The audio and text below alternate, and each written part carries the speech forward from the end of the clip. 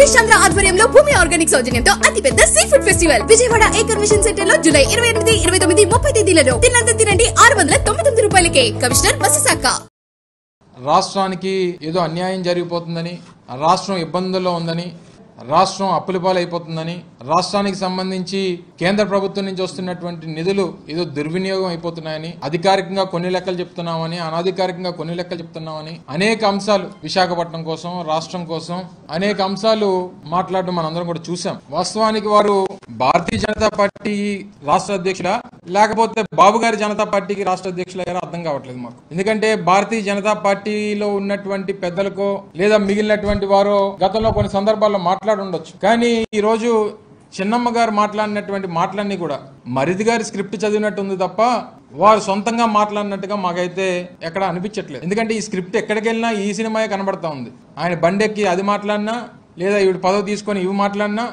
లేదా ఇంకో దగ్గర ఆయన మాట్లాడినా అన్నీ కూడా ఎక్కడికక్కడ స్క్రిప్ట్ మాత్రం ఎక్కడ తేడా ఉండట్లేదు. ఒకవేళ చిన్నమ్మ గారు వారికి రాష్ట్రంలో రాజకీయాలు చేయాలన్నటువంటి తపన కానీ లేకపోతే ఇంకోటి కానీ ఉండి ఉండుంటే అసలు వారికే వారి తండ్రి గారు పెట్టినటువంటి పార్టీ ఉంది కదా.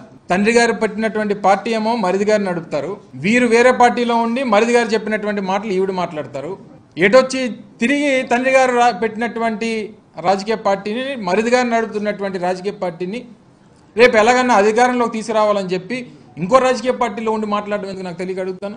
అదేదో వీరు కూడా ఆ పార్టీలోకి వెళ్ళి మరిది గారిని పక్కన పెట్టి ఆ పార్టీకి రాష్ట్ర అధ్యక్షులు జాతీయ అధ్యక్షులు అయిపోయి వాస్తవానికి వారసులు ఎవరవుతారు తండ్రి ఆస్తులకి అయితే కొడుకు అవ్వాలి లేకపోతే కూతురు అవుతారు లేకపోతే ఇద్దరు సమానంగా కొడుకు కూతురు.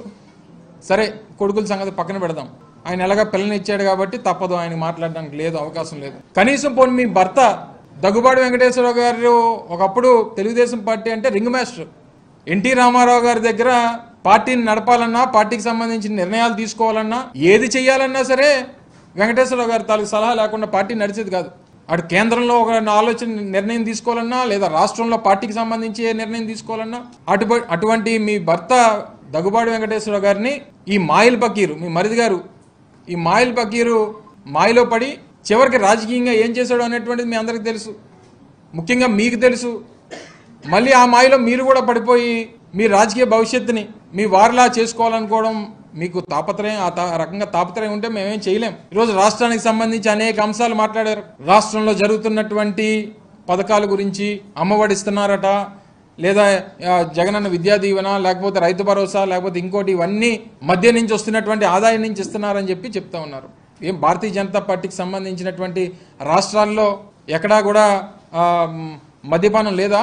ప్రతి రాష్ట్రంలో ఆ రాష్ట్రంలో ఉన్నటువంటి వివిధ విభాగాల నుంచి కొన్ని దగ్గర నుంచి రెవెన్యూ జనరేట్ అవుతుంది. రెవెన్యూ డిపార్ట్మెంట్ నుంచి రిజిస్ట్రేషన్ డిపార్ట్మెంట్ నుంచి వస్తుంది కమర్షియల్ డిపార్ట్మెంట్ నుంచి వస్తుంది మైన్స్ డిపార్ట్మెంట్ నుంచి వస్తుంది ఎక్సైజ్ డిపార్ట్మెంట్ నుంచి వస్తుంది. వివిధ విభాగాల నుంచి రాష్ట్ర ప్రభుత్వానికి రెవెన్యూస్ అనేటువంటివి జనరేట్ అవుతాయి.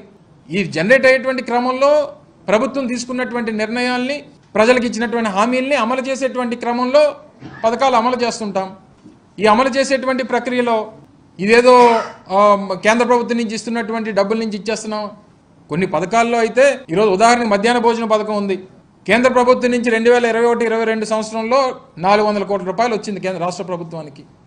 కానీ రాష్ట్ర ప్రభుత్వం ఖర్చు పెట్టిందంతా మధ్యాహ్న భోజన పథకం కోసం ఈరోజు రాష్ట్రంలో కేంద్ర ప్రభుత్వం నుంచి నాలుగు వందల కోట్లు వస్తే రాష్ట్ర ప్రభుత్వం పదిహేను వందల కోట్ల రూపాయలు ఖర్చు పెట్టింది.